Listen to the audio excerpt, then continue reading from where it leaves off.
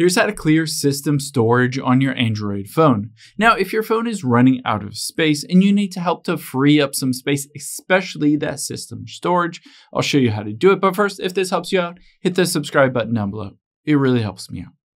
Thanks, guys. Now, the first thing that we will do is head into your settings. So you can swipe up and tap on the settings icon. Or alternatively, just swipe down from the top right and then tap on the gear or settings icon to get into your settings. Now, once you're in your settings, you need to navigate to the storage. So you can either scroll down until you find the option for device care and then tap on storage here. Or you can also just hit the search bar and hit search for storage. Oh. And tap on storage here.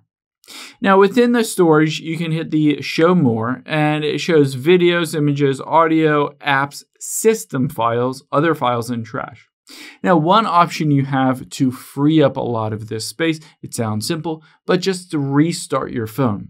So you can see on here, it says I've used 46.4 gigabytes, but before I restarted and you can see I used 47 gigabytes. So you can see a couple different things. The app size and the other files have decreased a little bit after the restart. So it's not huge, but it does help to free up space just to restart your phone. Now, there's no direct way to clear out that system storage. That is the Android operating system and a variety of different caches and files within your phone. However, you can clear the cache on apps, and that will help to clear the system storage as well, especially when you reboot. So you can do that by going down and going through any of these different things. You can see trash here. I can also go in here and tap on My Files. Just hit select select all, and delete all, and delete. So that will help to free up space. But if you want to free up space within that system files, you need to go back out of here. Let's go to the beginning here and tap on the apps option. Once you're in apps, all you need to do is navigate to an app that's taking up a lot of space on your phone. Let's say Facebook in this case.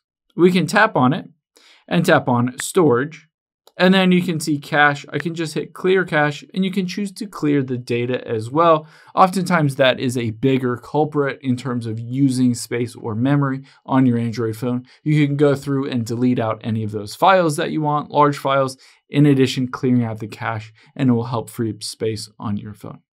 I hope this helps. If it did, hit the like button down below and leave a comment if you used to have any questions. Thanks guys.